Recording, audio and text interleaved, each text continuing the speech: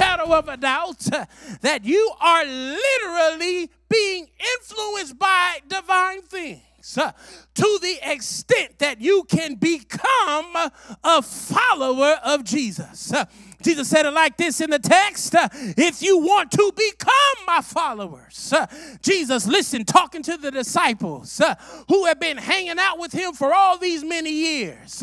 Jesus did not take for granted that they were his followers. Uh, Jesus told them, if you want to become my followers, uh, I want you to know, child of God, some of us need to ask ourselves that question uh, from time to time. Am I becoming a follower of Jesus? Or am I a follower of the United States Constitution? Am I a follower of the Democratic Party platform? Am I a follower of the Republican Party platform?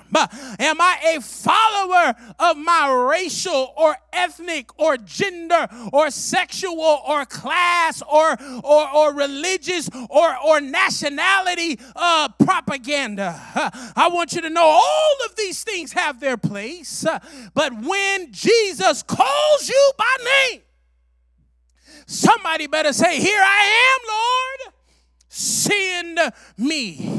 Jesus said it like this If you want to become my follower, I don't want to just hear you talking with your mouth, but I want to see what does your life produce uh, in order to be my follower. I love it how Augustine, St. Augustine, the North African church father, he says it like this uh, that if we are to become followers of Jesus, uh, then we must pick up our crosses uh, and follow him.